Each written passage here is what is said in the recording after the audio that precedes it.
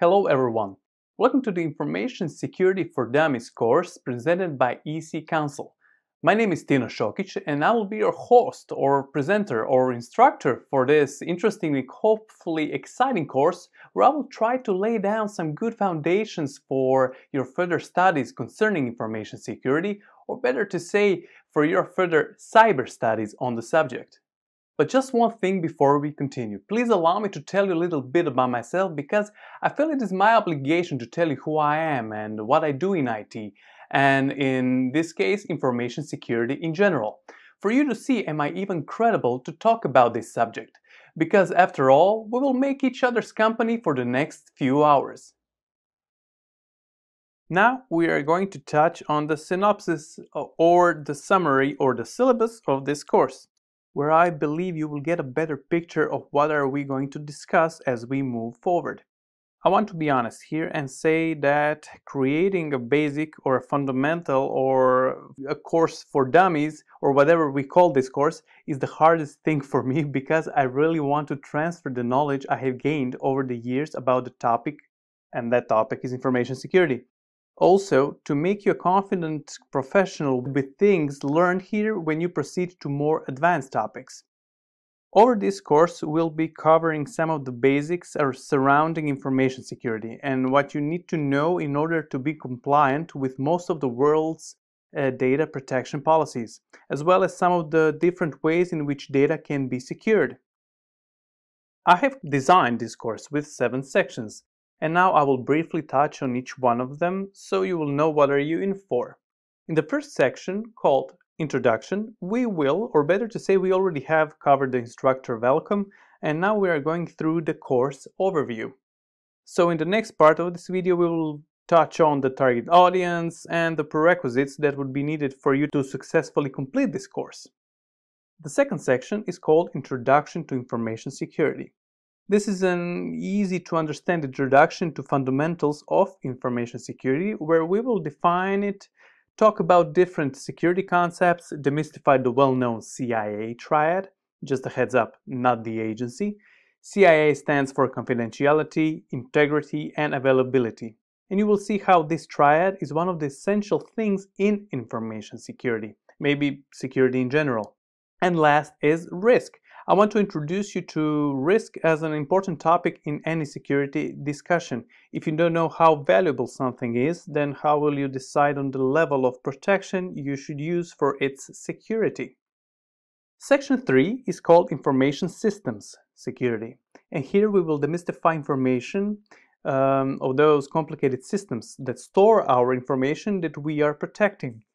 We'll mention the design and development approaches of those kind of systems and go a little bit in depth on the threats and attacks that you can and probably will encounter in your information security career.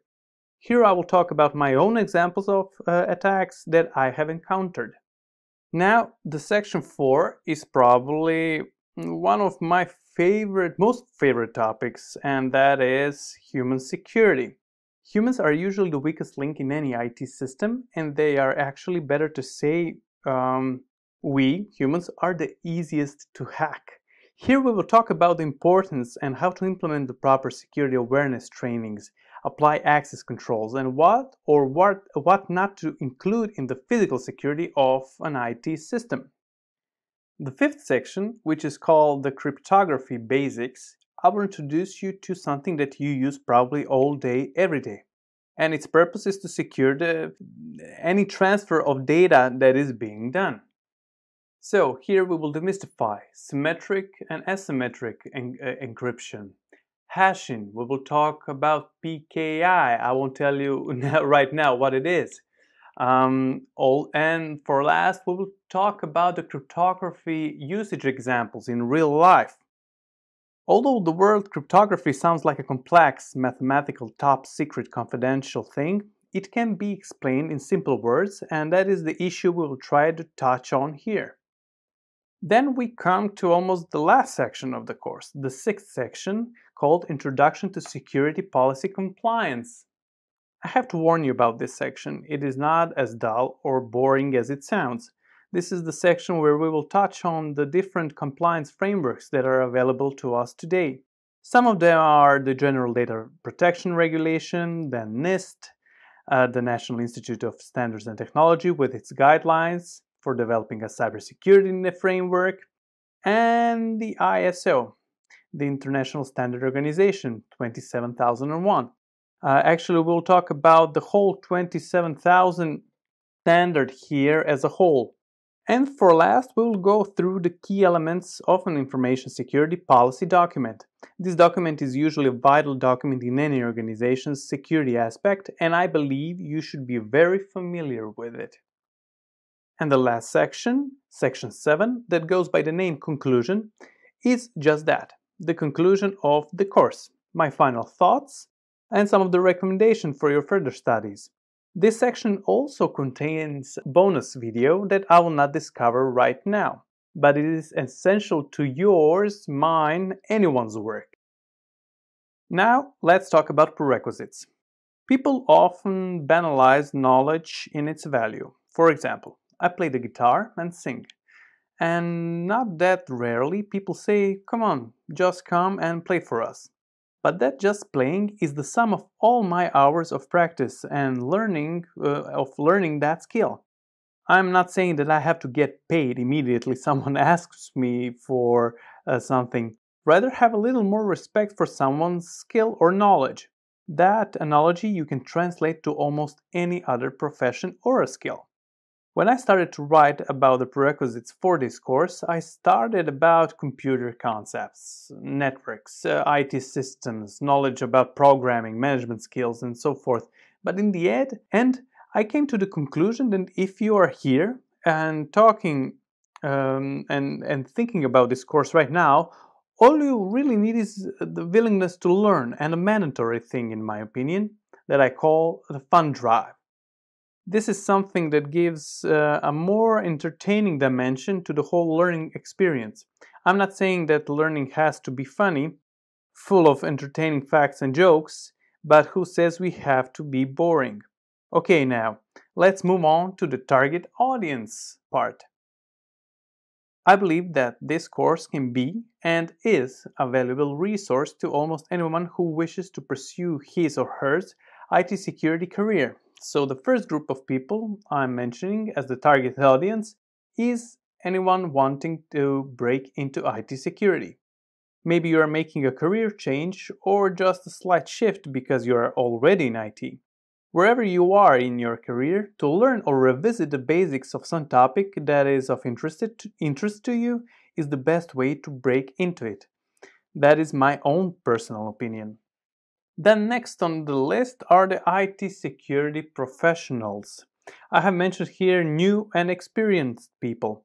If you are new, that is great. But I would like to also focus on the experienced professionals because from my experience, when I listen or watch something that I think I already know, usually I always learn something new. Maybe something I have missed or did not even consider thinking about. Okay, now, the next two bullets are dedicated to my IT background. IT technicians, network admins, system administrators, programmers, and developers. I think that everyone listed here should go through, the, through a training concerning information security because all the information security related incidents are a big part of their work, or better to say, directly linked to their work. Last on the list are the, the decision makers, management, C-suite people. Um, a lot of C's for me. Maybe they should be first on the list since they are the ones responsible for the business development, policy implementations, decisions, budgets, staffing, and so forth. But remember, I'm essentially an IT guy. I believe everyone um, in this kind of position should go through training like this because they can only get better at managing and protecting their companies and organizations. Remember the bonus video I mentioned in the syllabus uh, at the last section of the course? Well, that is uh, also tightly connected to IT and non-IT people. And now, after my welcome and the course overview, and without any further ado, the only thing I want to say to you is Buckle up and see you in the next video where we will start to talk about information security in more detail.